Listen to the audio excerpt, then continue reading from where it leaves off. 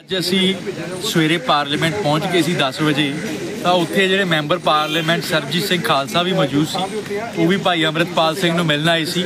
ਪਰ ਉਹਨਾਂ ਨੂੰ ਵੀ ਉੱਥੇ ਮਿਲ ਨਹੀਂ ਦਿੱਤਾ ਗਿਆ। ਨਾ ਹੀ ਭਾਈ ਅੰਮ੍ਰਿਤਪਾਲ ਸਿੰਘ ਦੇ ਪਿਤਾ ਜੀ ਨੂੰ, ਨਾ ਹੀ ਉਹਨਾਂ ਦੇ ਚਾਚਾ ਜੀ ਨੂੰ, ਤੇ ਨਾ ਹੀ ਸਾਨੂੰ ਉੱਥੇ ਮਿਲ ਦਿੱਤਾ ਗਿਆ। ਤੇ ਪਹਿਲਾਂ ਤਾਂ ਇਹ ਸੀ ਵੀ ਪਰਿਵਾਰ ਦੀ ਜਿਹੜੀ ਮੁਲਾਕਾਤ ਹੈ, ਸਾਨੂੰ ਇਨਫੋਰਮੇਸ਼ਨ ਮਿਲੀ ਸੀ ਵੀ ਸਪੀਕਰ ਸਾਹਿਬ ਦੇ ਚੈਂਬਰ ਦੇ ਵਿੱਚ ਹੋ ਜਾਵੇਗੀ। ਜਿਵੇਂ ਬਾਕੀ ਐਮਪੀਜ਼ ਦੇ ਘਰ ਦੇ ਉਹਨਾਂ ਨੂੰ ਦੇਖਦੇ ਨੇ, ਸਹੁੰ ਚੱਕਦਿਆਂ ਨੂੰ ਗੈ- ਉੱਥੋਂ ਗੈਲਰੀ ਦੇ ਵਿੱਚੋਂ। ਤੇ ਐਂ ਭਾਈ ਅੰਮ੍ਰਿਤਪਾਲ ਸਿੰਘ ਦਾ ਪਰਿਵਾਰ ਵੀ ਦੇਖ ਸਕੇਗਾ। ਪਰ ਉਹਨਾਂ ਨੇ ਐਨ ਮੌਕੇ ਤੇ ਆ ਕੇ ਕੈਨਸਲ ਕਰ ਦਿੱਤਾ। ਹਾਲਾਂਕਿ ਲਿਸਟ ਵੀ ਦਿੱਤੀ ਹੋਈ ਸੀ ਤੇ ਮੇਰੇ ਹਿਸਾਬ ਨਾਲ ਬੜਾ ਜ਼ਿਆਦਾ ਮਾੜਾ ਕੀਤਾ ਉਹਨਾਂ ਨੇ। ਤੇ ਜਿਹੜਾ ਹੁਣ ਇੱਥੇ ਪਤਾ ਲੱਗਿਆ ਵੀ ਇੱਥੇ ਪਾਸੇ ਜੇ ਕਿਤੇ ਇੱਕ ਇੱਥੇ ਸੀਆਰਪੀਐਫ ਦੇ ਘੇਰੇ ਦੇ ਵਿੱਚ ਜੋ ਭਾਈ ਅੰਮ੍ਰਿਤਪਾਲ ਸਿੰਘ ਦੀ ਮੁਲਾਕਾਤ ਹੈ, ਉਹਨਾਂ ਦੇ ਪਰਿਵਾਰ ਨਾਲ ਕਰਾਉਣ ਜਾ ਰਹੇ ਨੇ। ਪਰ ਜਿਹੜੇ ਬਾਕੀ ਉਹਨਾਂ ਦੇ ਸਮਰਥਕ ਨੇ ਬੜੇ ਪੰਜਾਬ ਤੋਂ ਦੂਰੋਂ ਸਾਰੇ ਚੱਲ ਕੇ ਆਏ ਨੇ ਉਹਨਾਂ ਨੂੰ ਕੋਈ ਮੁਲਾਕਾਤ ਦਾ ਇੱਥੇ ਮੌਕਾ ਨਹੀਂ ਦੇ ਰਹੇ पहले छह लोगों की मुलाकात के लिए परिवार की बात की जा रही थी लेकिन अब सिर्फ दो लोगों को जो है वो मुलाकात जो है कराई जाएगी हाँ जी ये भी काफ़ी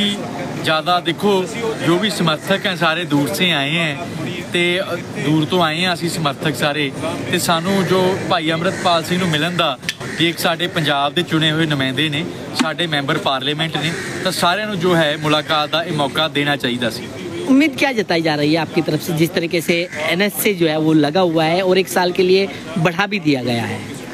ਦੇਖੋ ਸਾਨੂੰ ਪੰਜਾਬ ਸਰਕਾਰ ਤੋਂ ਤਾਂ ਕੋਈ ਉਮੀਦ ਨਹੀਂ ਲੱਗ ਰਹੀ ਭਗਵੰਤ ਸਿੰਘ ਮਾਨ ਕੋਲੇ ਹੁਣ ਇਹ ਮੌਕਾ ਹੈ ਜੇ ਉਹ ਆਪਦੀ ਜਿਹੜਾ ਵੋ- ਵੋਟ ਸ਼ੇਅਰ ਘਟਿਆ ਪੰਜਾਬ ਦੇ ਵਿੱਚ ਜੇ ਉਸ ਨੂੰ ਸੰਭਾਲਣਾ ਚਾਹੁੰਦੇ ਨੇ ਤਾਂ ਹਲੇ ਵੀ ਸਮਾਂ ਭਾਈ ਅੰਮ੍ਰਿਤਪਾਲ ਸਿੰਘ ਦੇ ਸਾਥੀਆਂ ਤੋਂ ਐਨਐਸਏ ਰਿਵੋਕ ਕਰ ਦੇਣ ਤੇ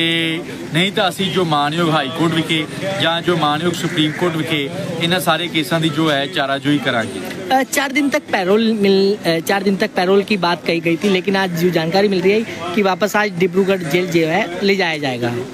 ਦੇਖੋ, ਬਹੁਤ ਜ਼ਿਆਦਾ ਇੱਕ ਗਲਤ ਹੈ। ਭਾਈ ਅੰਮ੍ਰਿਤਪਾਲ ਸਿੰਘ ਨੂੰ ਉਹਨਾਂ ਦੇ ਜਿਹੜੇ ਵੋਟਰ ਨੇ, ਸਮਰਥਕ ਨੇ ਖਡੂਰ ਸਾਹਿਬ ਦੇ, ਉੱਥੇ ਨਾ ਜਾਣ ਦੇਣਾ, ਮਿਲ ਨਾ ਦੇਣਾ, ਧੰਨਵਾਦ ਨਾ ਕਰਨ ਦੇਣਾ, ਤੇ ਇਹ ਸਾਰਾ ਕੁਝ ਗਲਤ ਹੈ। ਡੈਮੋਕ੍ਰੇਸੀ ਦਾ ਮਰਡਰ ਹੈ, ਜਮਹੂਰੀਅਤ ਦਾ ਘਾਣ ਹੈ ਇਹ। ਇੱਕ ਪੋਲੀਟੀਕਲੀ ਭਾਈ ਅੰਮ੍ਰਿਤਪਾਲ ਸਿੰਘ ਦੇ ਉਲਟ ਇਹ ਜਿਹੜੇ ਕਦਮ ਨੇ ਪੰਜਾਬ ਸਰਕਾਰ ਨੇ ਲਏ ਨੇ, ਤਾਂ ਕਿ ਉਹਨਾਂ ਦਾ ਜਿਹੜਾ ਪੋਲੀਟੀਕਲ ਇੱਕ ਲੈਂਡਸਕੇਪ ਬਣਿਆ, ਫੀਲਡ ਬਣਿਆ ਉਸ ਨੂੰ ਖੌਰੂ ਲਾਜ- ਲਾ- ਲਾਇਆ ਜਾ ਸਕੇ। खरा साहब, जिस तरीके से आखिरी सवाल मेरा ये है कि आपका टीचर क्या रहेगा आने वाले दिनों का? देखो, आने वाले दिनों में भाई अमृतपाल सिंह ने ये बात कही है कि मैंने नशा, जो नशे के खिलाफ बात करनी है, पंजाब की डेवलपमेंट की बात करनी है, पंजाब को इससे आगे लेके जाना है तो इसीलिए पंजाब के लिए, पंजाबियत के लिए, पंजाब के वासियों के लिए जो काम करना है, ये भाई अमृतपाल सिंह का प्रण है।